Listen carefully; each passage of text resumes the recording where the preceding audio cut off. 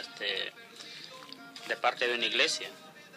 Este, la verdad las cosas me decían a mí los jóvenes, este, mira, este, hay un campamento, hay un campamento, pero yo no sabía qué era eso, la verdad las cosas, ¿verdad? Porque como yo he ido al campamento, pero no era de parte de una iglesia.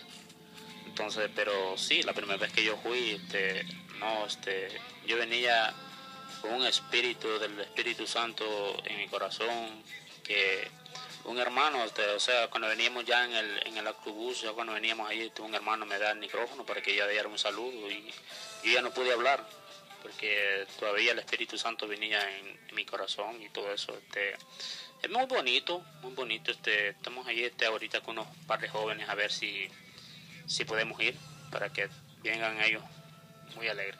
Qué bueno, qué bueno. Ese par de jóvenes son amigos que mi hermano va a llevar. Y ese es aquí, ah, ese e, es el detalle, como decimos, que nosotros podamos, los que hemos tenido esa experiencia, podemos invitar a otros para que vayan a experimentar esta presencia de Dios, este momento donde la pasamos a sola con Dios. Mire, allá no, allá no televisión, allá no radio, allá no celulares. ¿Sabe por qué? No es que no lo podamos llevar ni no hayan, es que no funcionan. es que no hay, no, no hay señal.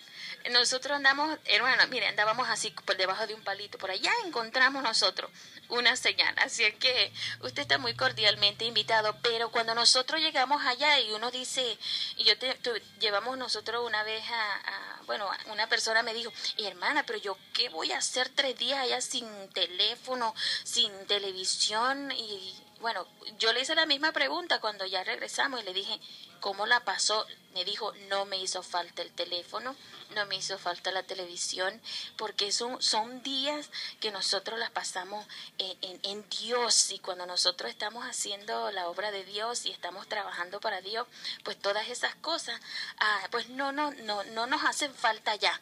Ya cuando venimos nosotros aquí entramos a la realidad y venimos a encontrar mensajes, venimos a encontrar aquí, pero qué bueno que nosotros tenemos ah, y tenemos esa experiencia con, con Dios y pues dos veces al año nosotros vamos, nos reunimos, ah, nos vamos a Pensilvania, a los Póconos y estamos nosotros en ese lugar, en Spruce Lake Retreat, ah, buscando y recibiendo de Dios la bendición.